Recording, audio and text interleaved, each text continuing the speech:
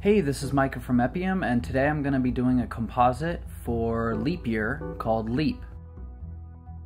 Since leap year only happens once every four years, we wanted to do something kind of cool, so I decided to put together this composite. So what I'm going to start with by doing is uh, pulling out all of these keys and get these three individual me's uh, separate. I'm just gonna run through, use some uh, some color blending and some discontiguous uh, brush tool and just pull out all of these keys. You can find information on keying out green screens and some of our other tutorials. Uh, this tutorial is quite long and involved, so we didn't want to waste any extra time showing you how to green screen key when we have lots of other tutorials that have that included. So we're going to start by copying and pasting in all of the other versions of me. So we'll start with the right and then the left.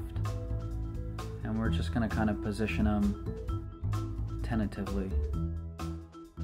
Before we go any further, I'm going to clean up some of the image and remove the button and remove a couple problems with the jeans blemishes from my face. Instant Zit Remover is awesome.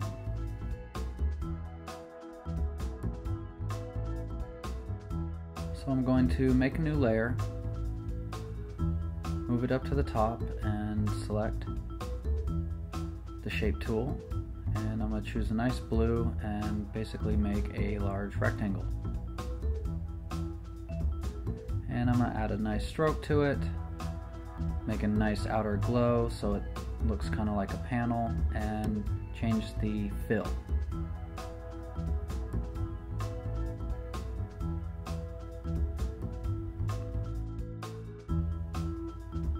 And I'm going to make another new layer with the inside of that shape layer selected. And I'm going to drop a bucket and do render difference clouds. I don't like that. Let's do render clouds.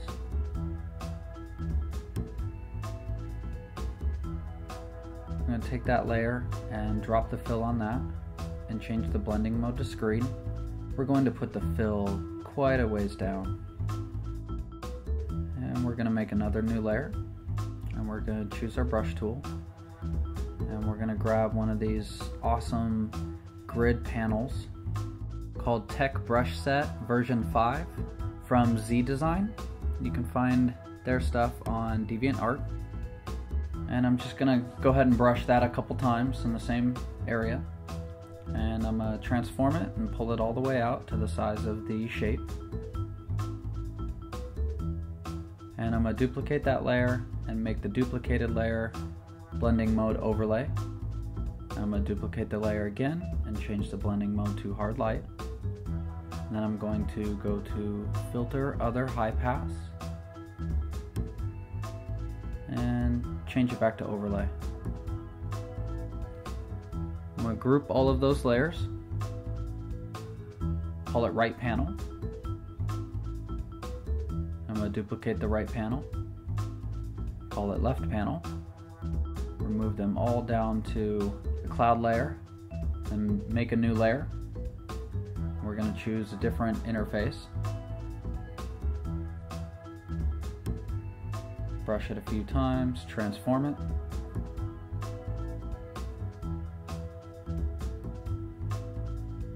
I'm going to duplicate, screen, duplicate, filter high pass.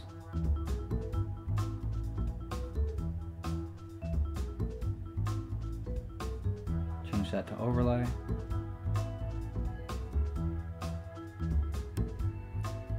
Change the clouds down a little bit more to 5% instead of 7. And we're going to go back to the right panel and we're going to choose our shape tool with rounded and make a little box up in the corner.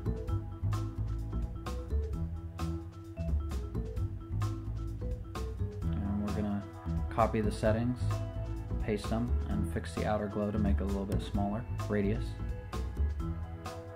And fix the fill so it's a little bit darker. And choose Arial font and we're just going to type out 01 and that's going to be the date on this panel.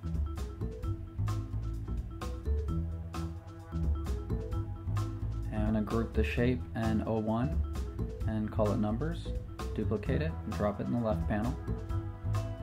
So the left panel and the right panel are very similar. I'm going to change the date to 28 for the left panel and I'm going to duplicate it, call it center panel and duplicate the original shape layer and drag one to each panel.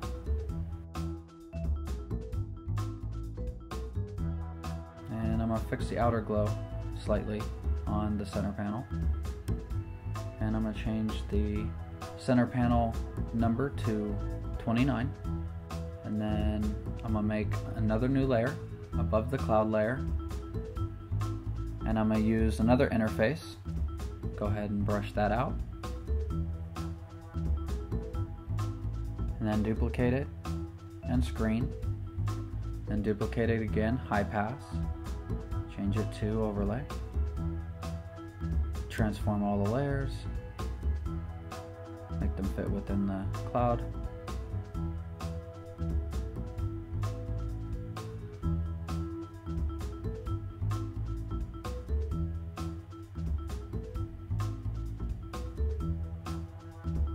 Change the opacity of the entire center layer and duplicate it. Add a new layer and merge it Then take the left panel, duplicate it, add a new layer, and do it for all the rest. So we have just flattened images of each of the panels. Then I'm going to start with the right panel and I'm going to distort it so that it boxes the center me in. And then I'm going to do the same with the left. Flip horizontal and distort it.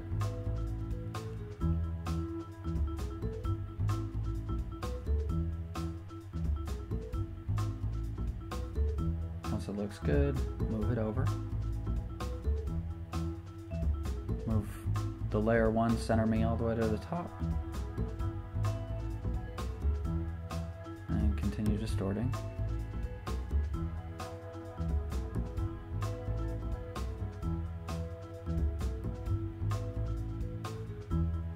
And we're going to pull the left me in just a little bit and pull in the right panel just a little bit and fix the distort.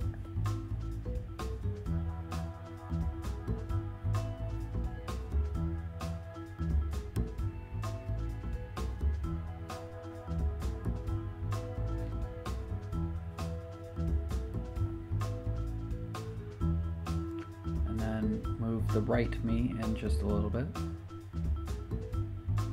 And we're going to take the center panel and we're just going to put it behind me all the way in the back.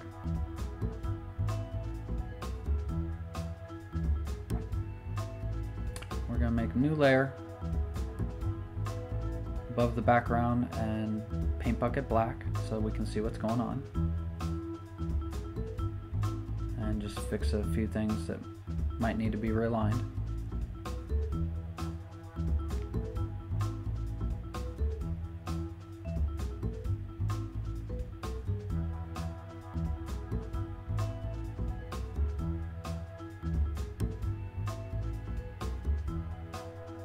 Just going to nudge this panel until it's in a good position.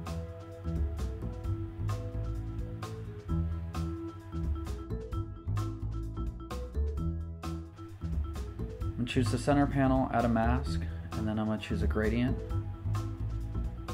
and use it at the bottom of the panel so it looks like it has fall off.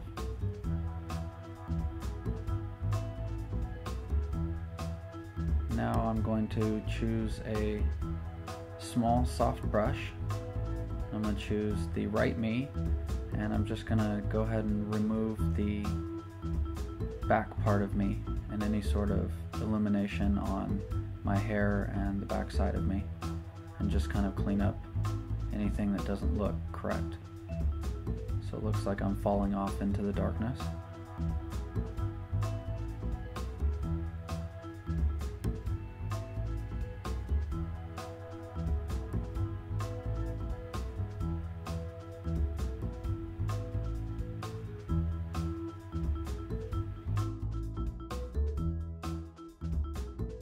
Modify feather.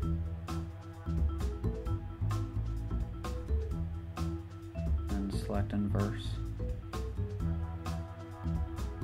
And just delete it.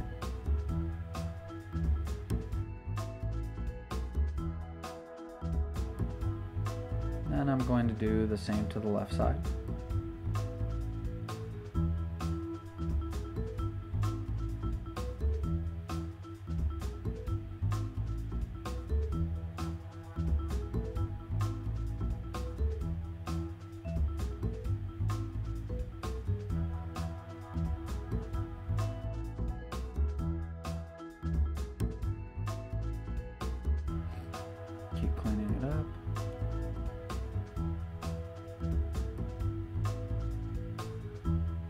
I'm going to add a mask to the left side. And I'm just going to brush off my jeans a little bit.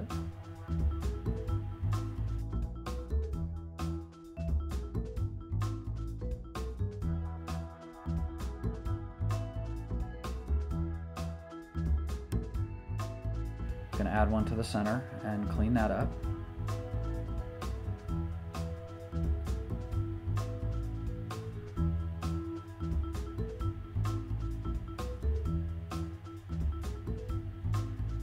Take the center panel and nudge it up a little bit more.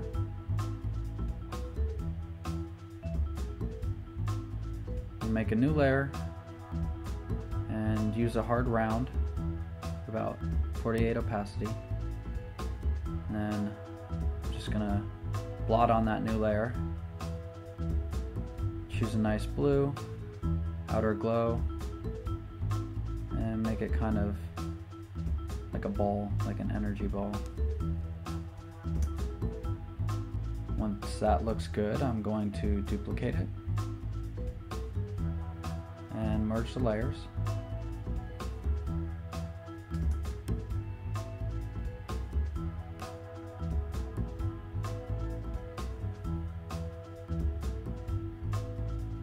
And add an outer glow to both layers with white. Bump up the size, and we'll hit OK. And we're going to transform, distort, make it the same perspective as the screens. And we're going to warp it to make it look really good. Bring down the opacity and nudge it so that it fits with my hand a little bit better. Then I'm going to duplicate it, free transform, flip horizontal, bring it over to the other hand, and nudge it into place. I'm going to choose the right panel, and then I'm going to make a new layer, and I'm going to choose another brush, these brushes are from a set called Best of Technical Brushes 250X by Baystar. You can also find their work on DeviantArt. I'm to choose a different brush and I'm to kind of turn this into an alien looking circuitry or something. Once we're done, I'm to call it Grid and I'm going to duplicate it. And I'm gonna bring it up to the right me hand.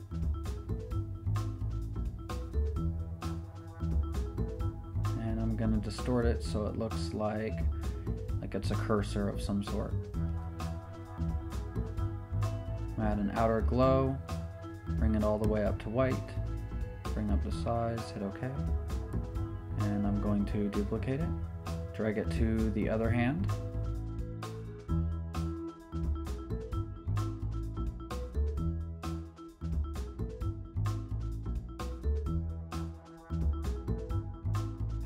Distort them like they're actually interacting with my hands.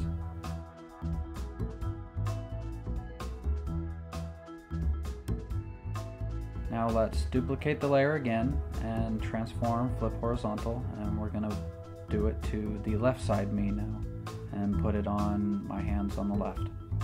Then I'm going to take the original grid and I'm going to duplicate it and I'm going to put it behind the middle me and I'm to make it huge.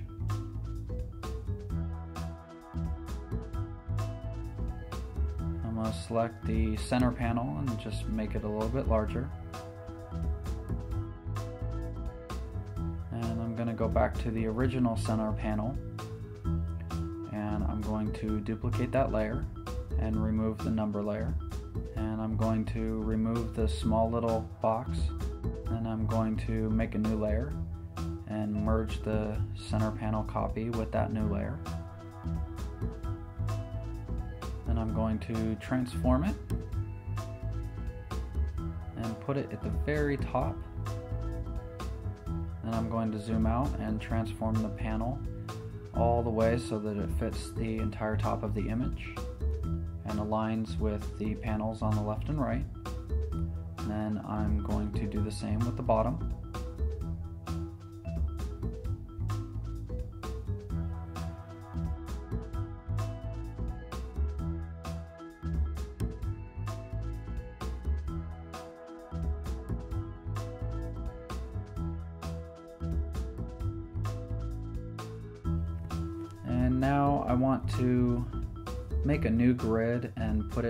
Each one of the hands of the middle me.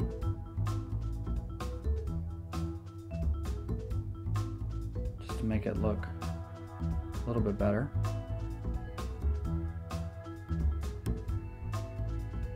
Kind of keep the continuity.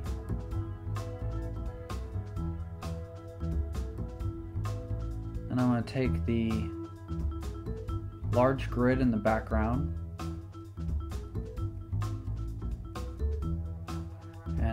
To add a filter blur, radial blur. And I'm going to add a zoom, quality best, amount 10. And then I'm going to add a mask to that layer and get rid of the little extension that's coming out behind my back. Doesn't look right. fix the bottom grid.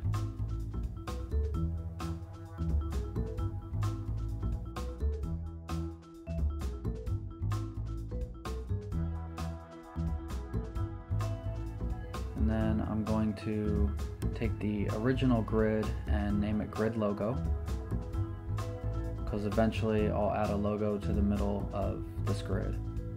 I'm going to choose the right me and on the layer mask, I'm just going to brush off my legs a little bit more and do the same with the left.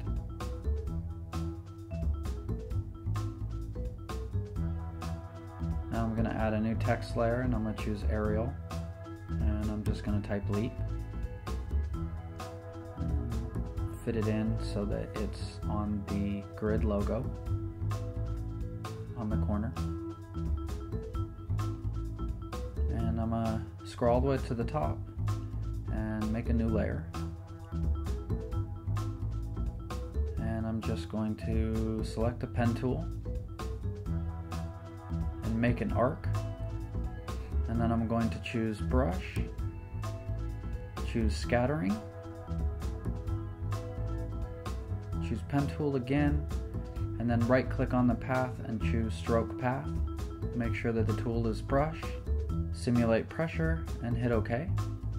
So it looks like a nice essence. And I'm going to remove the pen line and fix opacity on some of these.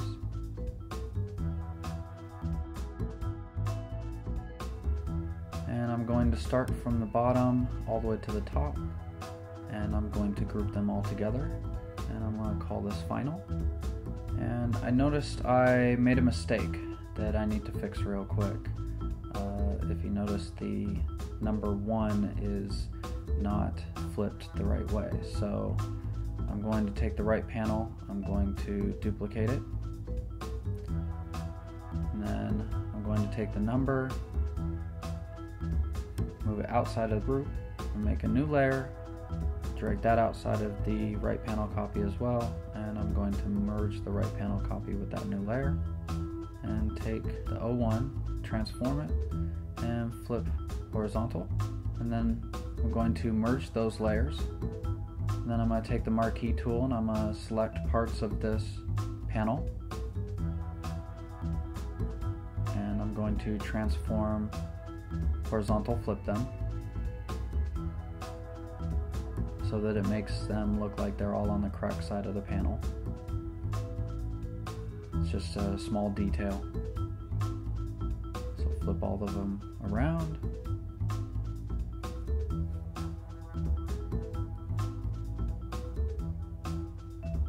And I'm going to take that right panel and put it all the way at the top. And I'm going to open up the group final and bring it down by the other right panel. And then I'm going to transform, distort it, and line it up with the old right panel and get it as close as I possibly can.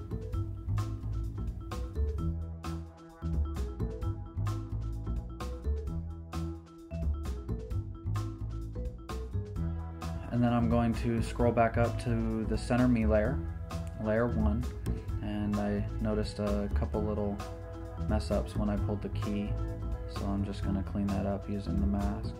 Make sure to turn off scattering of the brush. And at the bottom of the image it looks like the bottom panel is coming through my legs. It looks kind of weird. So I'm just going to transform it and pull it out just a little bit.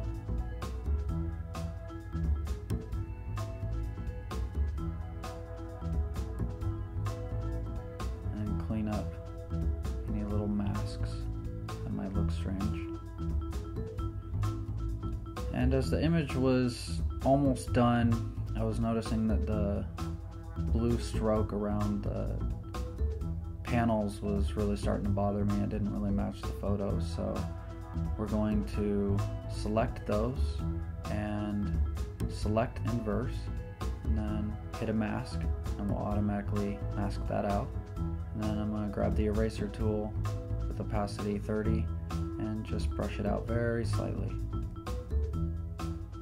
That's it. And this is the final image. As you can see, the logo is in the original grid down in the bottom right. We used lots of different elements for this.